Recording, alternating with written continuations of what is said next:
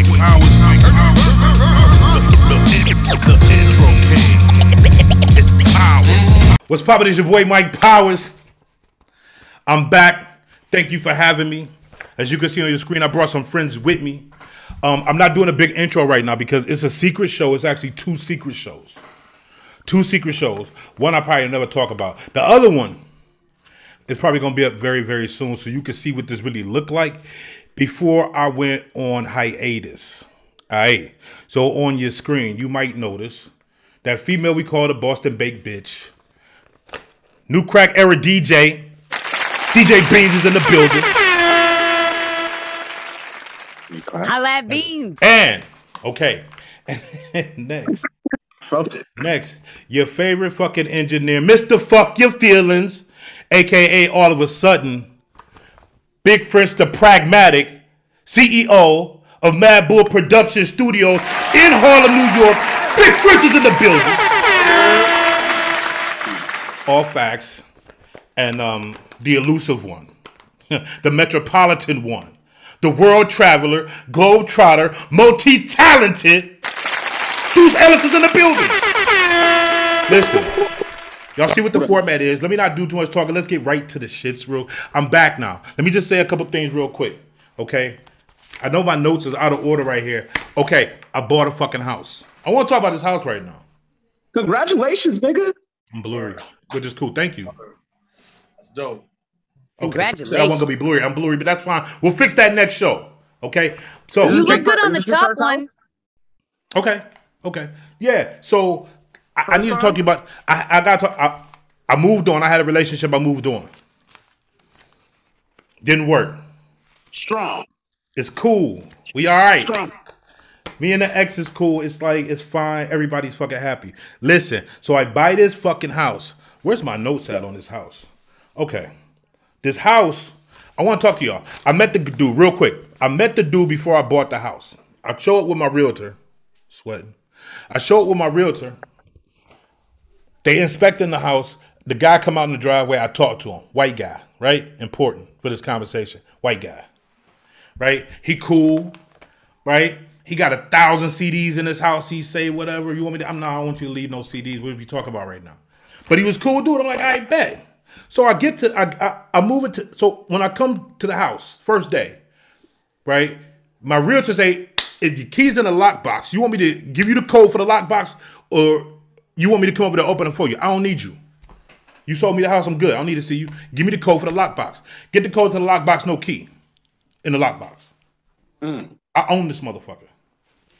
No key in the lockbox. Call my realtor. Realtor call the fucking dude. Yada yada yada. They say they're gonna bring it to me in like 20 minutes. I'm waiting on the fucking porch for an hour and a half.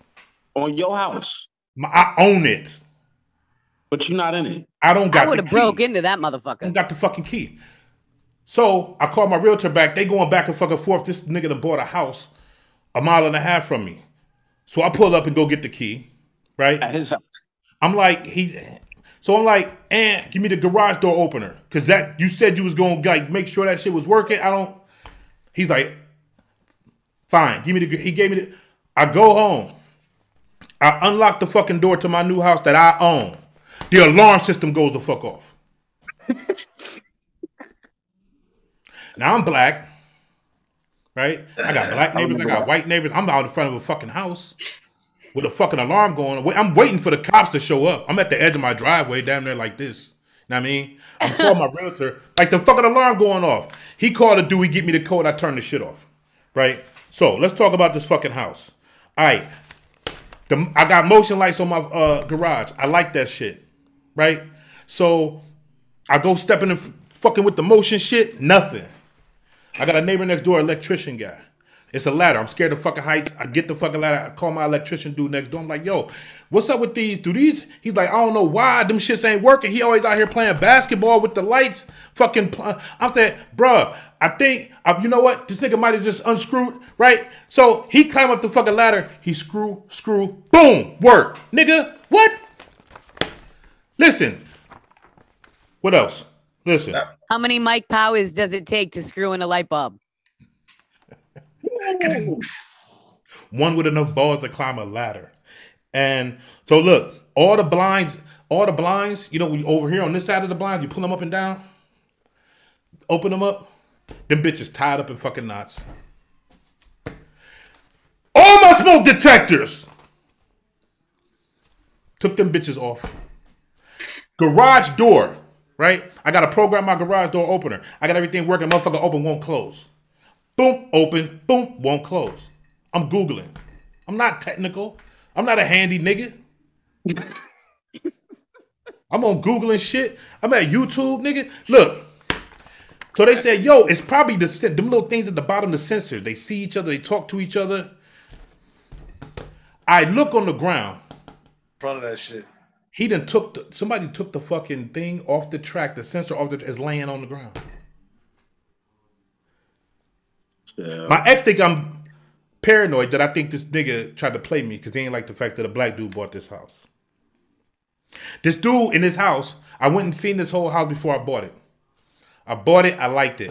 All of a sudden I come back. You know what this nigga does? He kills, he had a gnat problem. He was killing gnats and smacking the wall and leaving them on the wall. Nigga, am I lying? petty. That's petty. That's petty. I know yeah, where he he was live fucking I, with I, you. I, I know, I know was where he fucking live with you. I know where he I was about at. to say he he moved he moved right up the street from you and he wants to fuck with you like that. Oh, I just- April I Fools, just motherfucker. don't like prison. Okay? Listen, there's certain things you can do that will fuck up his entire day, and you don't have to go to jail. We're gonna talk about this off air, friends, because you're gonna tell me all of those things.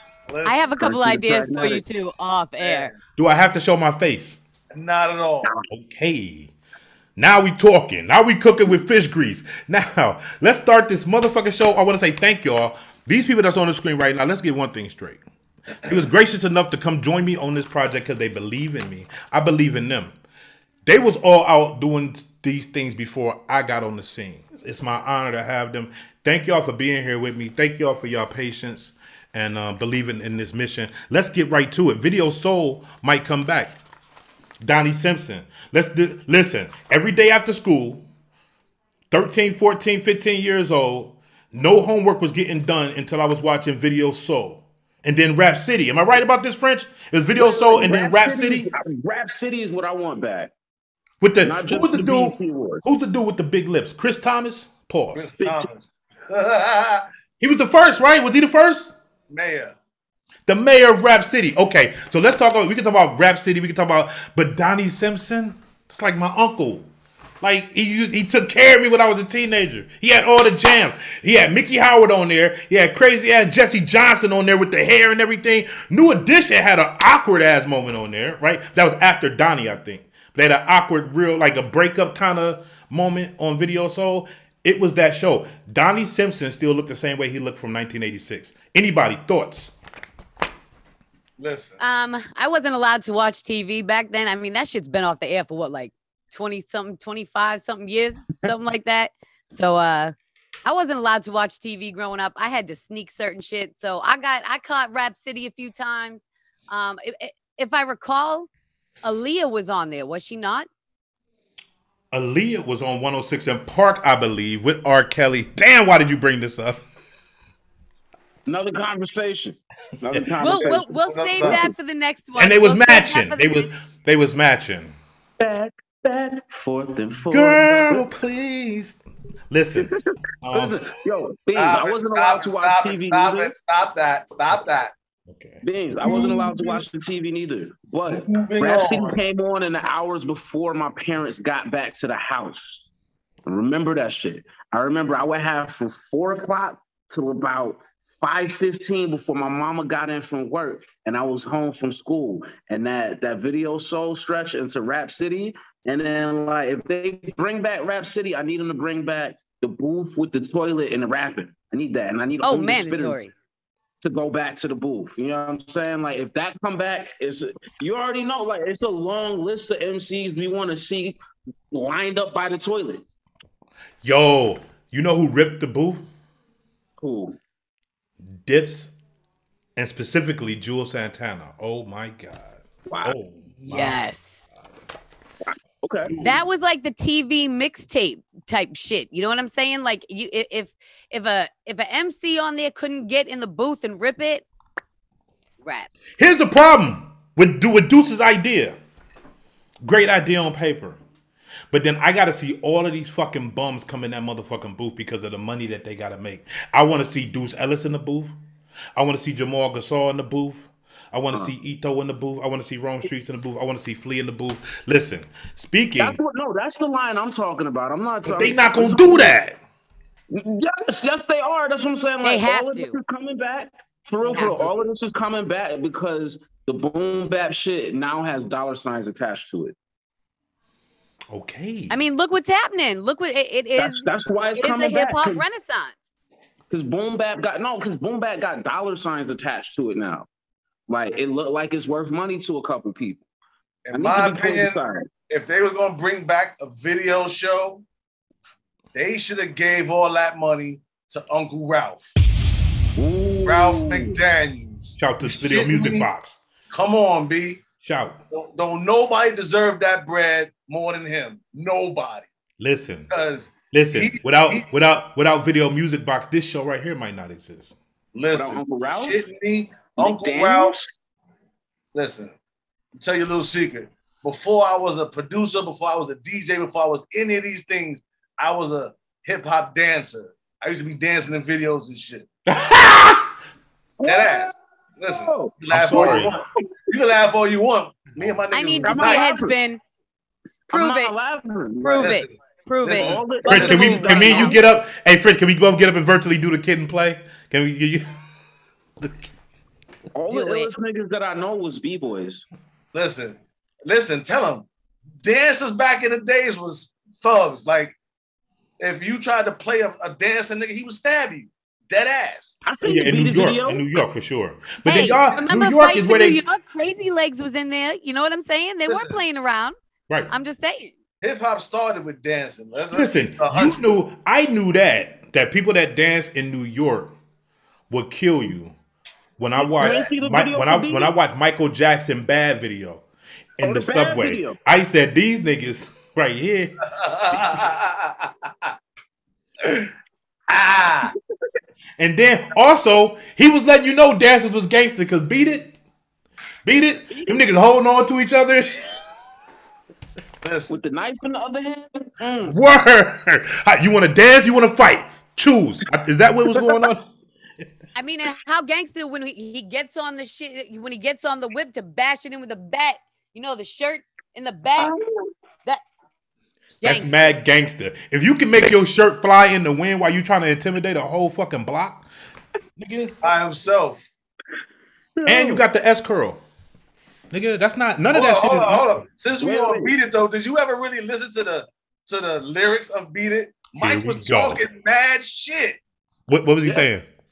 Mike says a line. He goes, "Nigga said, if if if you don't if if you don't believe what I'm saying, then smack me in my face." Mike that in said Beat It? Yes. Yeah. Was I too busy practicing the dance moves in the living room? You let it I was run? about, I might need to go back. Right. I might need to go back. Wait, wait, Like, wait, like wait. in other words, Mike is saying, if you really gangster, go ahead, hit me. I dare you. What y'all didn't peep though is in the the way you make me feel video. Oh, He ends and my nigga turns into a Black Panther. What do you mean? Who missed that? no, No, he no, talking but I'm about the just saying, like- significance. It's a, it's a Oh. little extra in there. You know what I mean? Oh, He Mike I may be listen, turning white before your eyes, but I'm still down with the struggle. Mike was the king of the subliminals in his videos. You shitting me? Certainly. But that way you made me feel video is very much doesn't age well. Me Too era. Because this girl was steadily trying to get the fuck away, man. he followed this chick like six blocks. He on top of other people's whips. She try he's stopping her like Listen. He and you know, I'm gonna keep listen, my here go mouth another. shut. You, y'all ready for another one? Uh, Kelly We went- we're conversation way off shit subject. too. Like on some real shit. Like we were talking about Donnie Simpson in the video. So if we were giving anybody that money to come back, it should have been Uncle Ralph. If you go back to so many songs though, that like you really listen to them and you're like, no, no, oh Listen, no. You know that that that classic disco record, fucked up for a "Love long Come time. Down." Girl, you make you, wait, you, you, It's a whole song about a bitch coming. I like that. So wasn't, song wasn't Evelyn Champagne King. Wasn't Yeah. wasn't Rain Rain was about getting nutted on, wasn't it? Rain down on me. That's a Yeah, Shanti, yeah, yeah, right? the Wait. SWV song, right? Yeah, yeah, the SWV song. That, yeah, yeah, yeah. Yeah. yep. That was all Yeah. about the facials, baby. Um, Damn Hitler it, wear. Hey, listen. Um, Hitler wears. Hitler wears. How am I, should I say? Hermes. Hermes. WHA. Hermes. HWHA. Yeah, I shouldn't even say the first. but I I'll shouldn't even say the first say one. Hermes. The new, the new Westside Gunn album. Let me. I'm gonna go on this one. I'm gonna go. I got some things to say. That everybody heard this album. I, I'm talking about when I say has everybody heard the album. I mean the Beanz and Deuce listen to it. French, he don't do no homework ever. I was in the studio when they was making it. He was in the studio with uh, Gunn. Yeah. Okay. It was pictures of Now, that, like Now, so okay, so before I get into what I want to say, Deuce, you was in the room when these things was being done. Talk to me about what you saw in the process. I remember. I'm gonna rewind. I'm gonna rewind.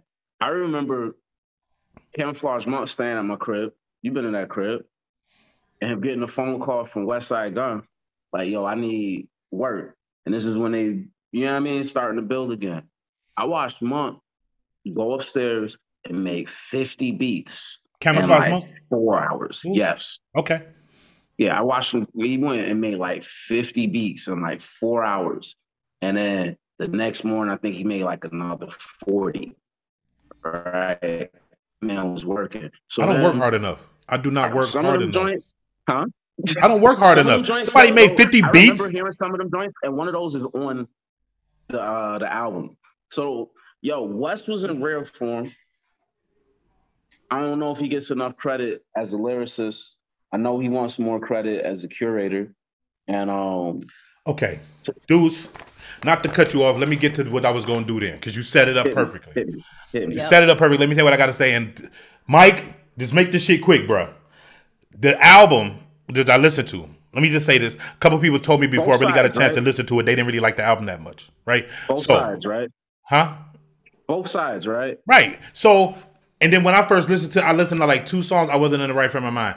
If you follow my channel, if you've seen the times I've talked about Westside Gunn, did album reviews, you will realize for some reason every single time I turn on the Westside Gunn album, I'm like, huh, nah, and then I'll listen to it again in the right state of mind.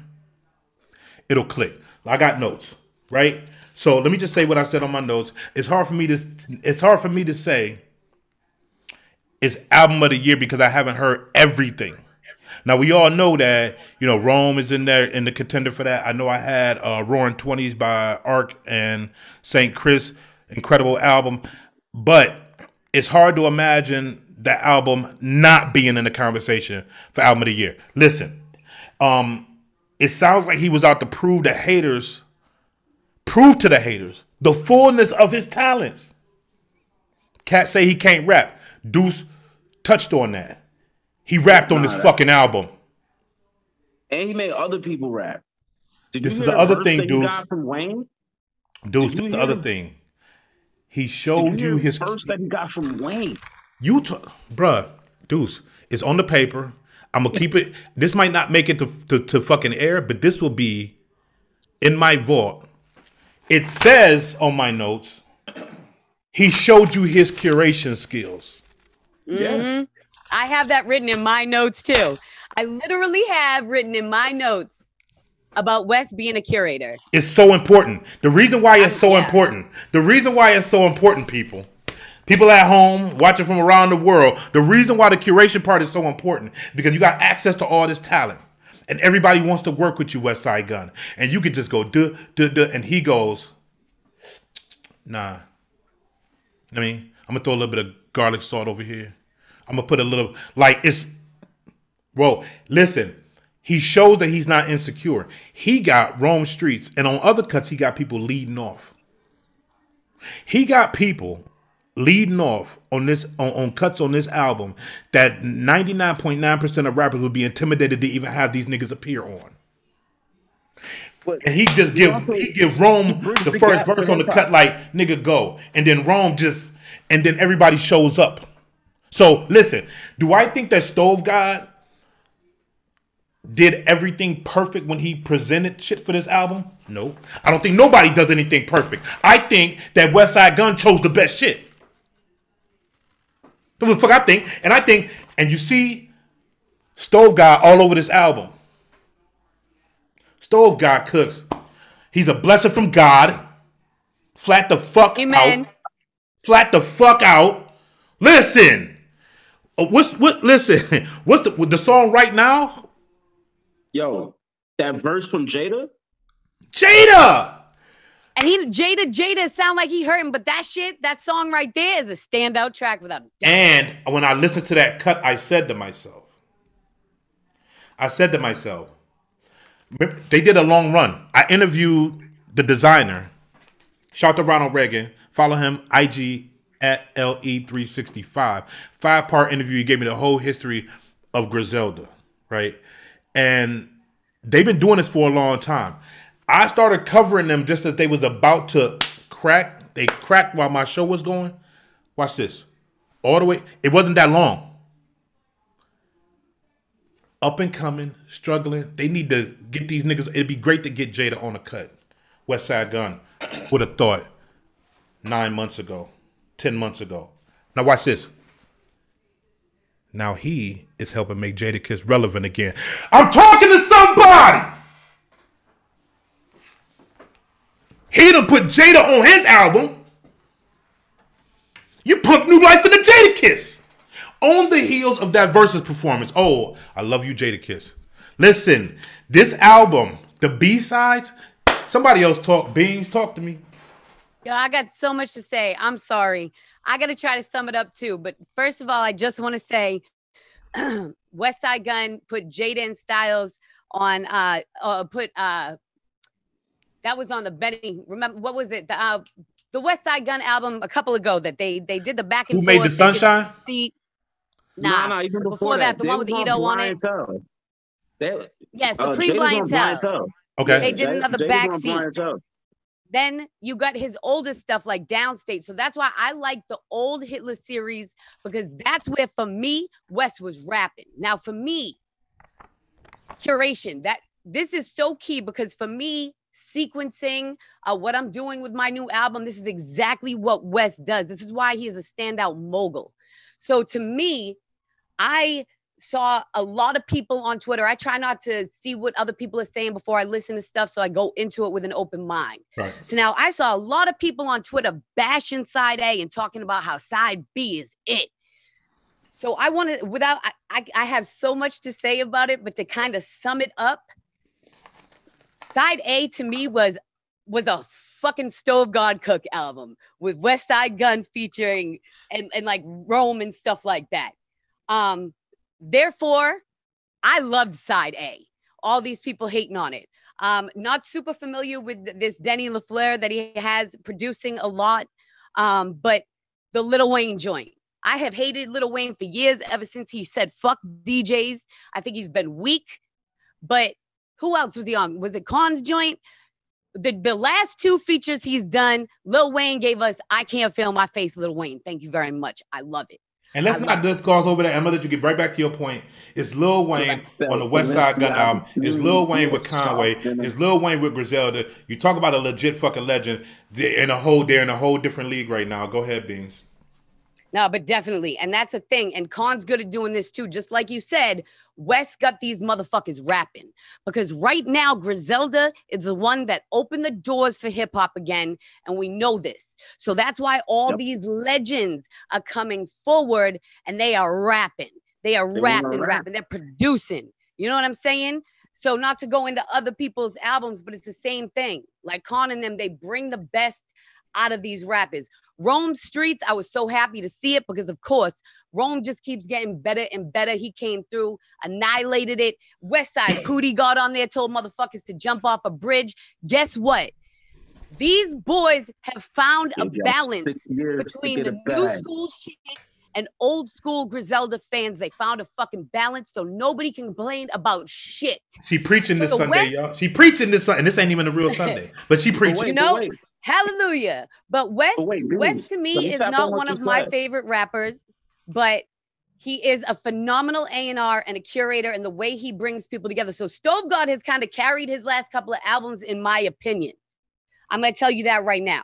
Um side B, I mean, we're talking all together. We got like 33 tracks. So he delivered two full albums. I'm sick of the EP shit. And I have been preaching to bring this shit back. There's not even skits. The I just one want to say a couple of things though. say- Guys, Uh, it's, it's- the, the beginning is both both sides start out with the uh the intro skit and then the AA Rashad uh intros. And then it doesn't both of them don't start heavy till about track three, which is why I could see, you know what I mean? You might interpret it as the Stove God Cooks album, but then like when you go a little deeper, because there's also like um it's the boy from Detroit, uh Boldy. Boldy, but Boldy puts me to sleep. towards the end. I mean, like I said, the stand he got that standout. He said, um that's Let's when- be hold yo, on. Feds Feds found, Feds found bodies from all the dirt that we did. That's when I learned cleanliness was next to godliness. Like, yo, it's it's one of those things. Like, and I'm I'm gonna be real. I'm gonna be real right now. I'm intricate with it.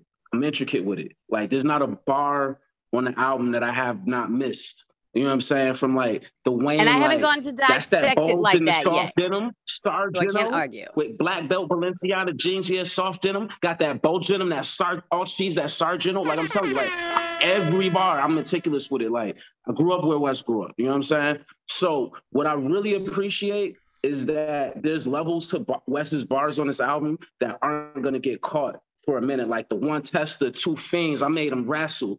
Um, stepped up in the club with the tool, no hassle.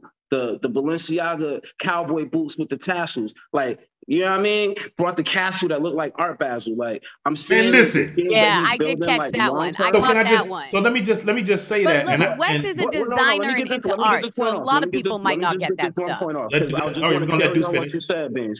Beanz, you was pointing out how like it bridged the gap from older and newer Griselda fans, but I think it's a little bit deeper than that. Like when you see the fact that bringing the swell of, of artists like Rome, Sauce Walka, um, Stove, and letting them become prominent, and on the same note, having them be in the same lane with legends like Wayne and Jadakiss, and then being able to be the bridge that allows relevancy and that spark to both. That's really the magic where Wes is at. Is the fact that like he's the one that's able to bring that level from where the under underground is at to where like the legends of barsmiths are at and make it cool and and able for everyone to finally eat in this realm. That's like fucking magic.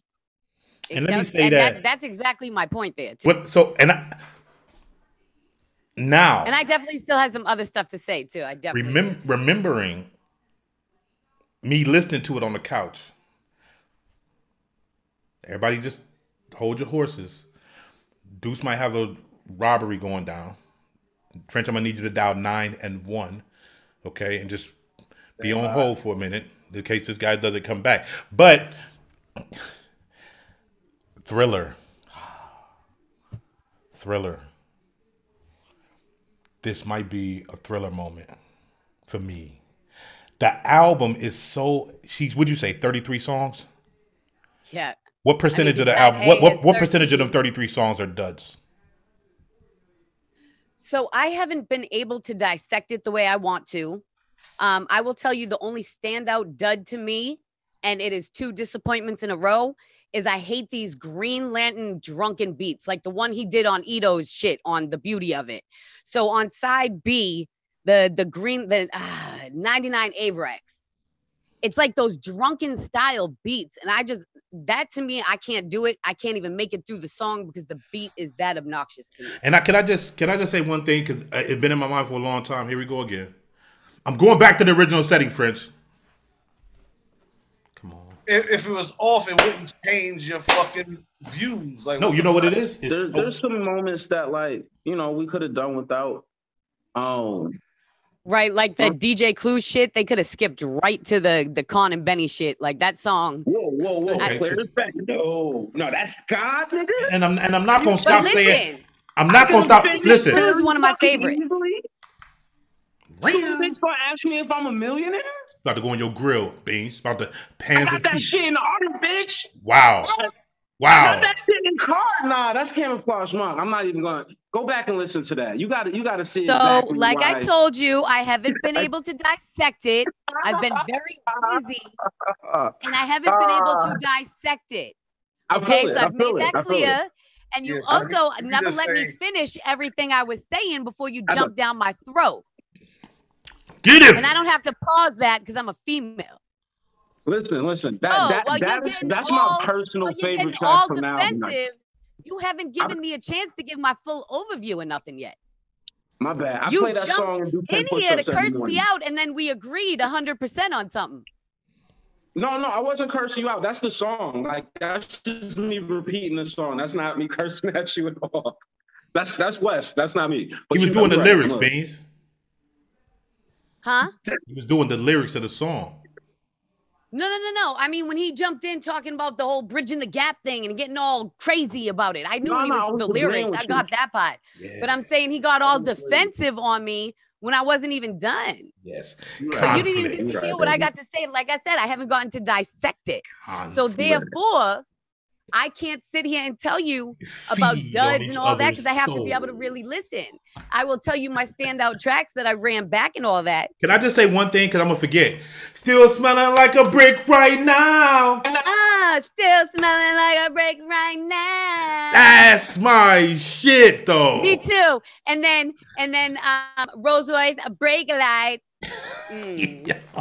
I just wanna be I just wanna be successful. So anyway, as he was bitching at me about saying it was a Stove God Cooks thing, I'm just saying five out of 13 tracks on side A's got Stove God Cooks. So that was a compliment because I love it. I love Stove God and I love the way Wes puts him on like that. And it's actually the only time I can really listen to Boldy is on these features of, of Wes's, believe it or not, because Boldy is just very boring to me. Um, he Wes is isn't on. hot. Beanz. The one that Wes isn't on on side A is one of my like favorites. Beanz.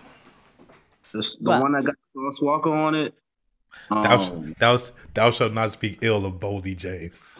I'm just playing. No, you say what you I'm want to say. I'm just, I'm, I'm, not just doing saying he doesn't have skills. He just he doesn't he doesn't tickle my fancy, darlings. That okay. boy right there is just a sickness on the mic. I got respect. I just listen. I- okay, listen right here. So look, that's the end of the show. All right, y'all go click go click the next one.